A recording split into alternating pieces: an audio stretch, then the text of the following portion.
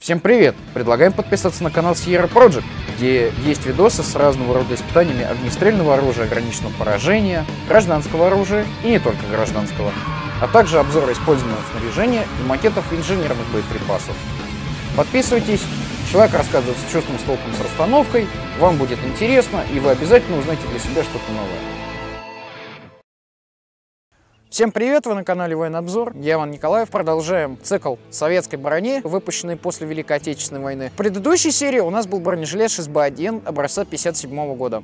Теперь у нас бронежилет Ж81Т, он же бронежилет 6Б2. Итак, приступим. В конце 70-х годов возникла потребность в новых средствах индивидуальной бронезащиты для военнослужащих. А также в 79 году началась война в Афганистане, где бронежилеты 6Б1 принимали непосредственное участие. Были выявлены существенные недостатки, такие как большой вес, слабая степень защиты и дороговизна, а также неудобство ношения вместе с ненадежной конструкцией чехла. Так, в ВНИИ стали началась история бронежилета 6Б2, который являлся большим шагом вперед. БЖ-6Б2 был принят на снабжение вооруженных сил в 1981 году. Основу защиты составила баллистическая ткань ТСВМ-ДЖ и титановые бронеэлементы АДУ-605-80Т, сплав ВТ-14, закаленный токами высокой частоты, толщина 1,25 мм. Вот перед вами этот красавец. Э, здесь э, перед вами уникальный экземпляр. Этот бронежилет выпущен в 1980 году, то есть за год до официального принятия на снабжение в армии. Э, этот бронежилет характерен тем, что его путали с так называемым чешским бронежилетом. На самом деле это чисто отечественная разработка, и в Чехии он не выпускался, он выпускался в СССР. Э, отличие раннего 6B2 от более поздних его вариантов заключается в том, что липучка, вот эта, разделена на две части. Липучка, кстати, здесь родная, но выпускался она, скорее всего, в Чехословакии, потому что у нас технология не была еще, по-моему, отработана. Но, как говорится, есть такая легенда, что в СССР ничего своего никогда не было. Вам судить самим. В более позднем варианте 6B2 вот эта липучка, она идет э, единым куском. Также отличие в цвете плечевого ремня. Здесь он такой ядовито-зеленый, а в более поздних вариантах он бледно-зеленый. Бронежилет традиционно уже классической компоновки, состоит из двух секций, грудная спинная. Выполнены они из капрона. И также обшиты капроном по канту, чтобы он, по сути своей, не рассыпался. Бронежилет также является неразборным. Его начинка – это уже титановые бронепластины толщиной 1,25 мм. В области жизненно важных органов, таких как сердце, этих плиток несколько, в три ряда. А, еще одна характерная особенность бронежилета 6B2 – его возможность, э, в принципе, носить скрытно. Он в рентгене не светится, потому что я его пытался просветить в московском метрополитене с целью изучения структуры расположения бронепластин внутри. Попросил сотрудников службы безопасности просветить, и они как бы согласились стали просвечивать. Они удивились сами, что типа он не светится в рентгене. Они спросили меня, что там внутри. Я говорю, титан. И тонкий титан. Только подложив под него вот так э, портативный металлодетектор в виде ну, такой палочки, и вот только тогда он засветился, и стало видно расположение его бронепластин. Бронежилет выпускался в двух типа размеров. Первый, второй. Перед нами первый размер э, с характерным вот сужением. Второго типа размера он идет э, более овальный такой в грудной секции. Грудная секция крепится спиной за счет липучек, и она дублируется вот этим ремешком. Ремешок плечевой проходит через два стальных полукольца. Вот. И как видите, несмотря на 1980 год, липучка еще очень достаточно трудно отдирается. То есть бронежилет еще вполне-вполне живой, и его можно долго носить.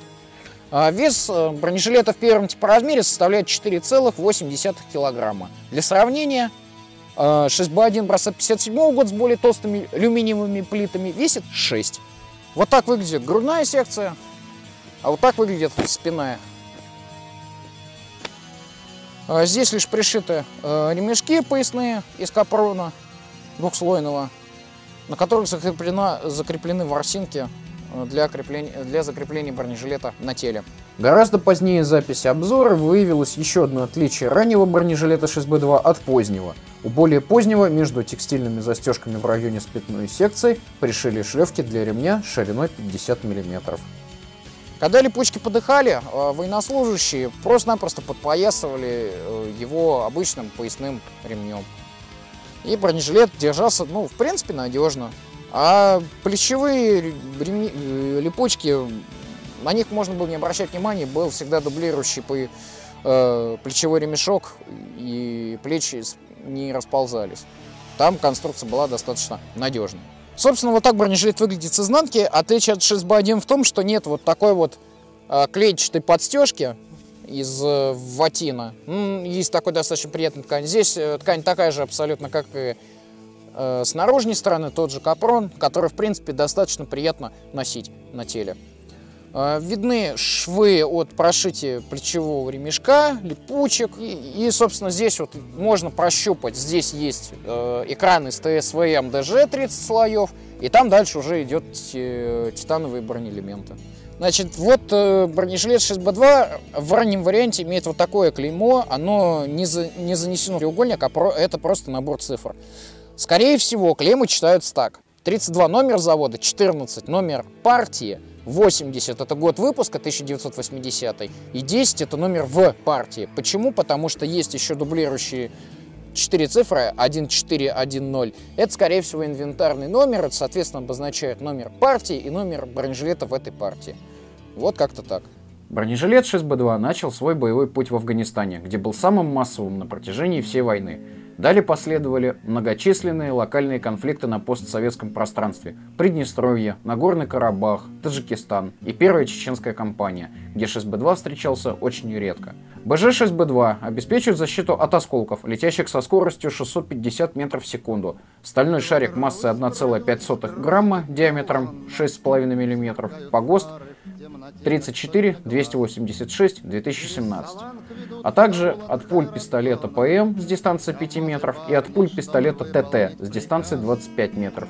Класс защиты БР-1 усиленный, ПОГОСТ 34 286 2017.